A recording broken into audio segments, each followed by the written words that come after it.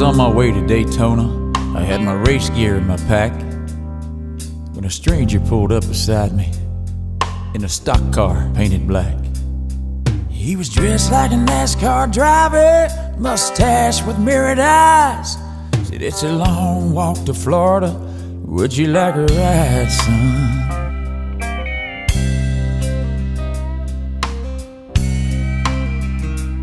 So I crawled across the roll cage as he fired that Chevy up. The patch on his sleeve said the man had won seven Winston Cups. His eyes were intimidated as he rode into the night. And I knew there was something strange about this ride. He said, Boy, can you make fans stand and scream your name?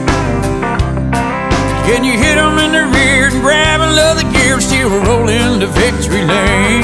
He said, Boy, do you know how it feels to run three wide?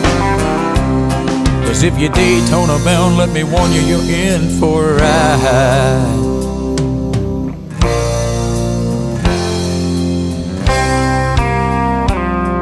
Then he cried when we got to Daytona as he pulled onto the track. And he said, This is where you get out, boy, cause number three ain't coming back. As I crawled out of the race car, I said, Thanks, I'll catch you later. He said, It'll be tough catching me, boy. Cause I'm the intimidator. He said, Boy, do you make fans stand to scream your name?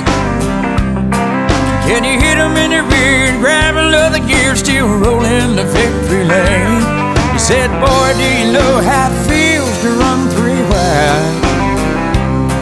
Cause if you're Daytona bound, let me warn you, you're in for a ride. He said, Boy, can you make fans stand and scream your name? Can you hit him in the rear and grab another gear, still rolling the victory lane? He said, Boy, do you know how it feels to run three wide? Cause if you're Daytona bound, let me warn you, you're in for a ride. If you're Daytona bound, let me warn you, you're in for a ride.